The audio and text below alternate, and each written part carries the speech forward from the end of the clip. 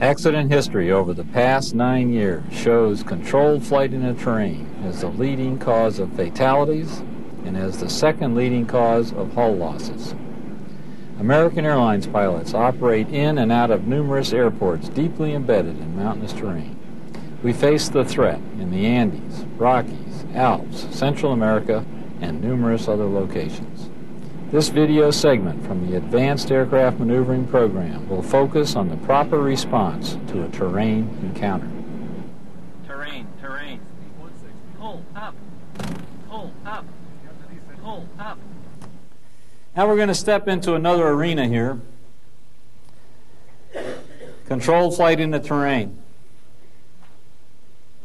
Now this subject, controlled flight in the terrain, is a very sensitive one for us here at American Airlines. And something we have to get straight right up front here is that this segment of this program was in this program being given to check airmen before our accident at Hartford or our tragedy at Cali. I'm trying to say to you is there's nothing I'm saying here that is a consequence of the Cali accident. There may be some things I'm going to talk about that apply to what happened at Cali, but they're not consequential to it, okay? Okay, as we look at the top bullet, read that to yourselves. Tell me, is that a strong statement?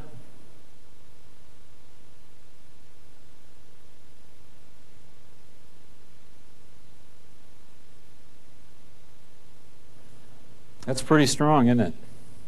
You see, as you study this issue, as I pointed out, and over the, if you look at over the last six years or seven years now, what you see is that the leading cause of hull loss is loss of control, followed closely by control flight in the terrain. If you expand the window back nine years, then CFIT ekes into the lead, followed closely by loss of control as the leading cause of hull loss.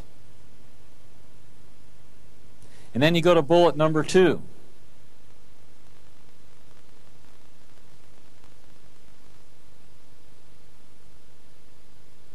As we analyze this issue, who more than American Airlines flies into deeply embedded mountainous airports all over this planet in the Rockies and Central America and Andes and the Alps with regular and high frequency? And as we look at that, the answer clearly becomes no one.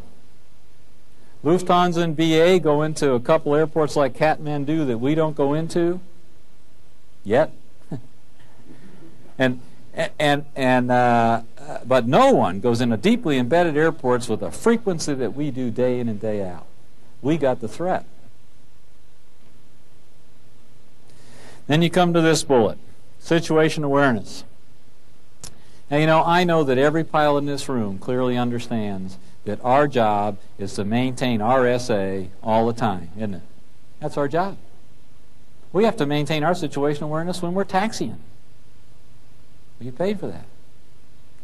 But when we're in the Andes, you know, in South and Central America below 250 and below 150 in the Rockies and the Alps, we have got to maintain our situation awareness 100%. Another way of saying that is if we're flying our airplanes below the level of the surrounding rocks and we cannot see out the front window, then we have got to know precisely where we are at every instant. There are no options. None.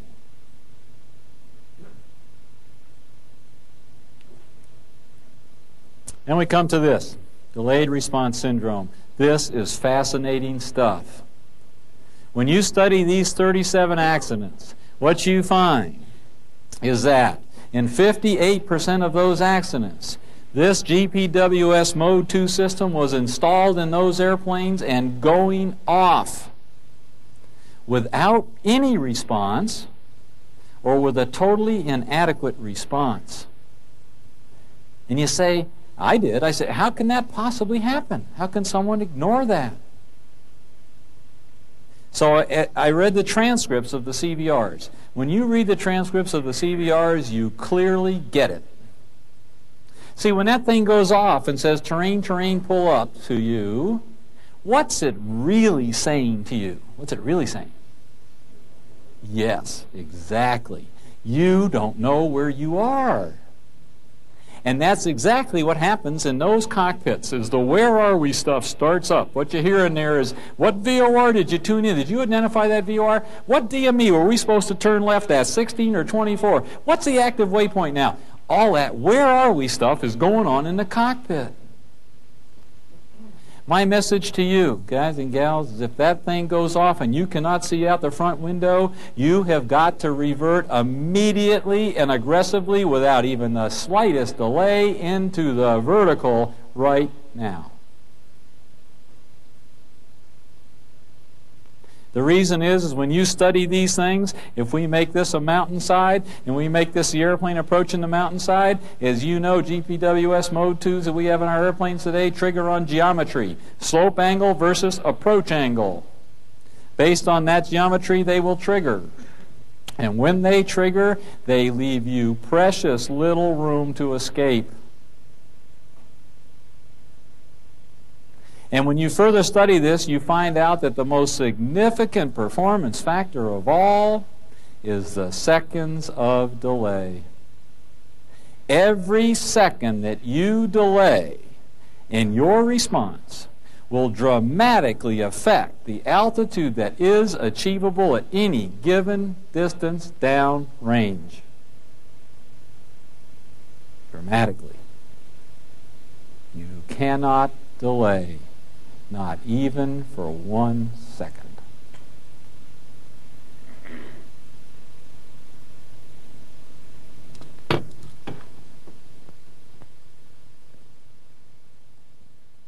As we look down to the next block, we're talking about enhanced GPWS. Each of these blocks moves us farther away from the mountain or the ground if it's kind of an approach sort of accident. Each one moves us farther away from the ground. What is enhanced GPWS? As you know, this is coming to all American Airlines airplanes and aggressively being installed in our 757s right now. We flew this system extensively in one of our 75s down in the Andes, and it worked quite well. We are now putting into all 75s, and eventually it will come to all fleet aircraft. What is enhanced GPWS? Well, basically, as most of you may realize, it is an onboard terrain database. It's down in the E&E compartment. It's being tracked by your ring laser gyro platform, or if you have GPS, by GPS. Understand that that system is totally virtual. There's nothing real about it. It's virtual. It's all on board. But it does some wonderful things for you, i.e., it'll show you some terrain awareness through graphics. And most importantly, it will double your warning time on terrain. But because it is virtual and it's possible also that it might slip with your platform, the company has decided to leave our GPWS Mode 2 systems in the airplanes. They're in there, the MEL required, they will be maintained. We're going to layer the enhanced GPWS system on top of those to give you two layers of protection, double protection. But my message to you remains the same. If you cannot see out the front window, and that thing goes off and says, terrain, terrain, pull up, you must react immediately and aggressively without even the slightest delay into the vertical.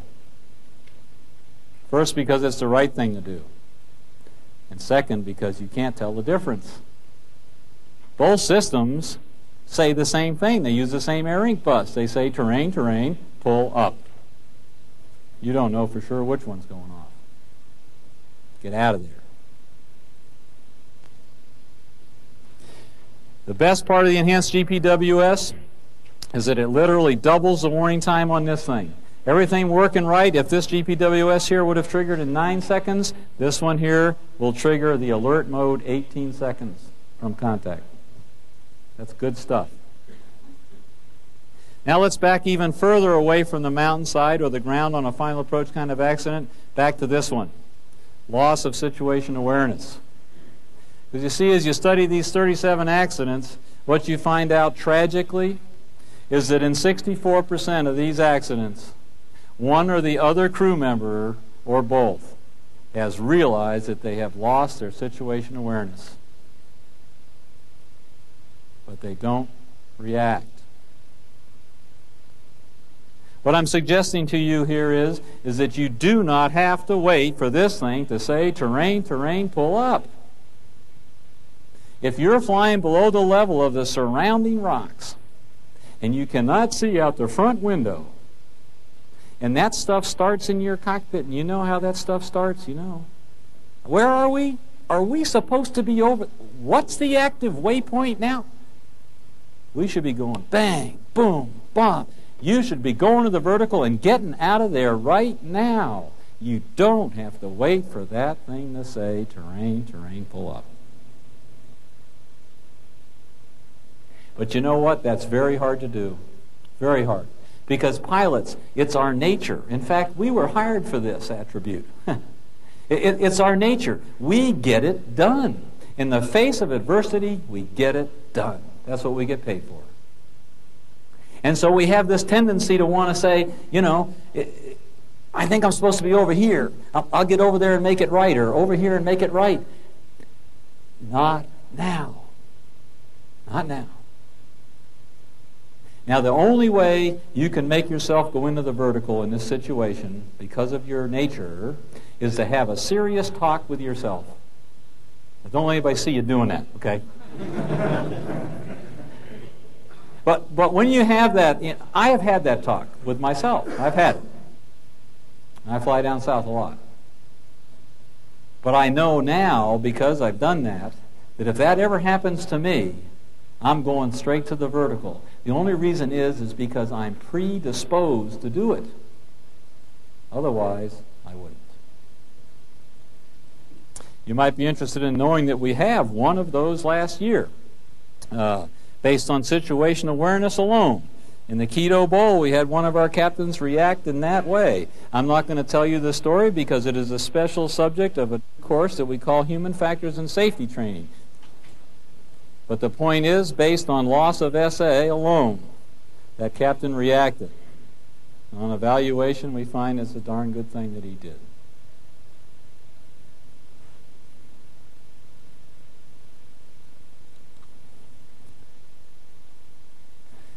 This is coming to your manuals, and I know how you all love to see these memory items coming back.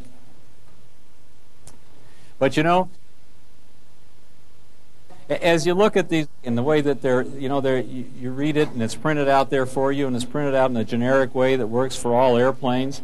And honestly, again, as I stand with my back to that, I cannot recite it. I can't. But I know what it says to do, and I think it's really important to remember what we do. I find it easier to remember what we do and certainly much more practical to apply. What does that thing say to do?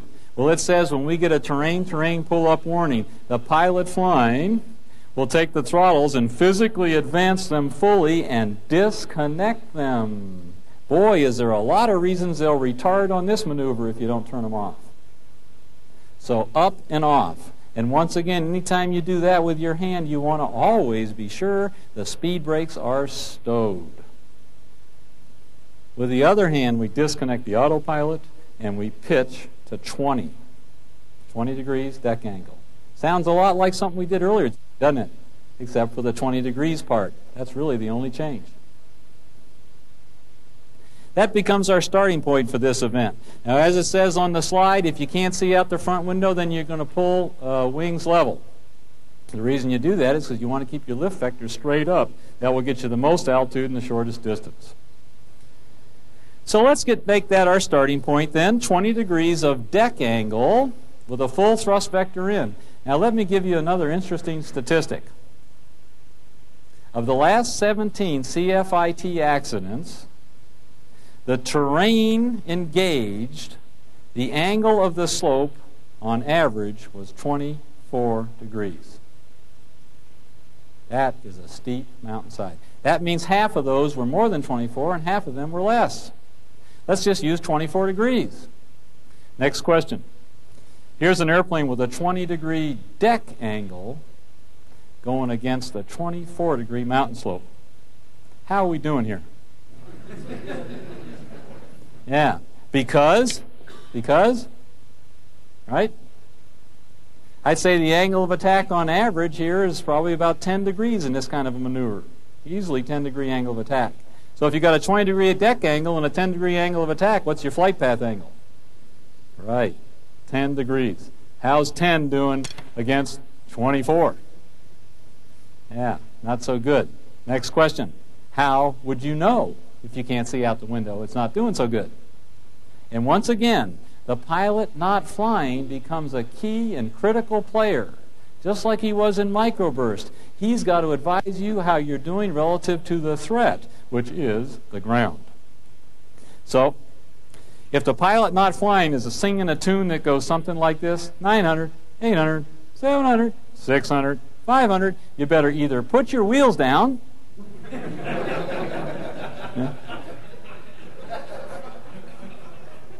Or get your nose up, right? I think get the nose up is what we're looking for here, right? So he starts that countdown, you get your nose up. You know, you pull your nose up now to 25. He says, hey, man, you are still closing. You're coming up on 500 feet closing. Hey, you're still closing. Well, 30 degrees. You're still closing on this mountain. You come up on 300 feet, you're closing. 35 degrees. Deck angle. You don't want to hit the mountain. Rule one, don't hit the ground. Think about it, guys and gals. Think about it. Against the average mountainside that's been engaged on the last 17 CFIT accidents, it will take a minimum of a 35 degree deck angle to match flight path to slope angle. This is not a wimp maneuver. you have got to get serious, and you've got to get serious in a hurry. Okay? So we've made the corner we've matched the slope, and now we look like this. Now I think everyone in the room realizes this particular scenario cannot continue indefinitely. we now have an energy maneuverability problem, don't we? How much energy do we have? How high can we go with it? So as we climb this mountain, our energy is bleeding, isn't it? As we think through this, using some of the aviator stuff we've already talked about today, as we're climbing this mountainside and our energy is bleeding coming off our airspeed indicator, what might be a good idea if we see the airspeed starting to go below our clean min maneuver speed and we still haven't topped the mountain? What could we do to keep us going for a little while? Sure, slats. Flaps won't help too much. Now, this is subsequent to the initial move now. This is not part of the initial move. But much later on, when we see ourselves running out of energy, throwing our slats out will help all of our airplanes fly 40. They'll fly 40 knots slower than they would otherwise at 1G. Well, sorry, you Fokker guys.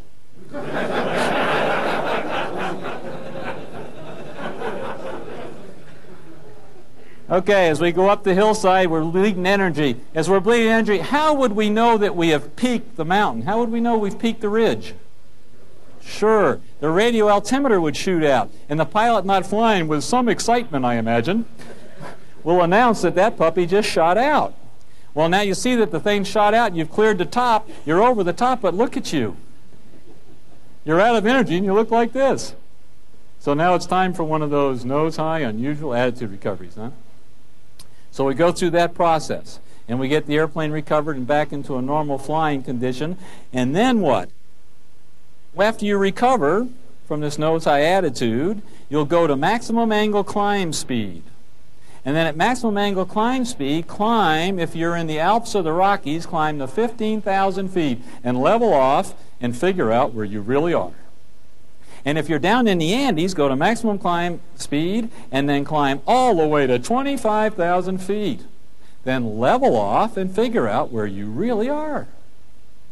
The neat thing about down in the Andes, once you figure out where you are, you'll be the only one that knows. but the neat thing is because you reacted immediately and aggressively, you're alive.